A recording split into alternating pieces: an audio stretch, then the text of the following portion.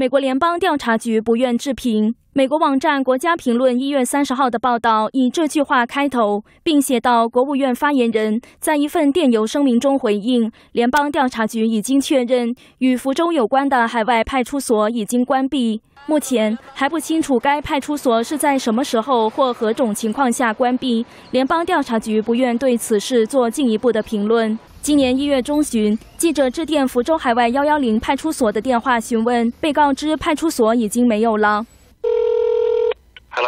长乐工会都都没有弄了，中国美国政府那个呃不可以弄了。美国时事评论员恒河介绍，因为涉及美中两国之间的执法，海外派出所的关闭属于联邦一级的介入。第一，违反了美国法律，侵犯了美国主权，同时属于长臂管辖。他哪怕真的是什么事都不做，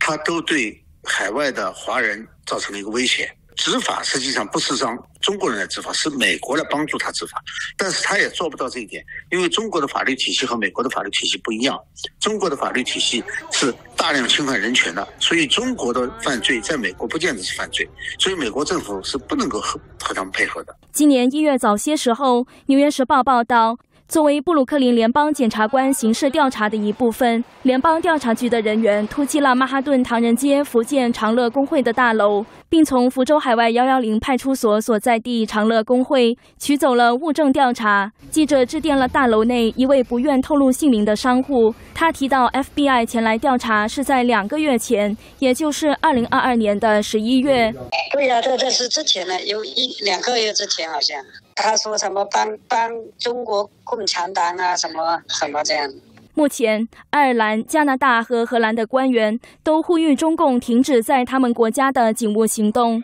根据非政府人权组织保护卫士的最新报告，中共警方目前在外国至少有一百零二个海外警察服务中心。新唐人记者柯婷婷纽约采访报道。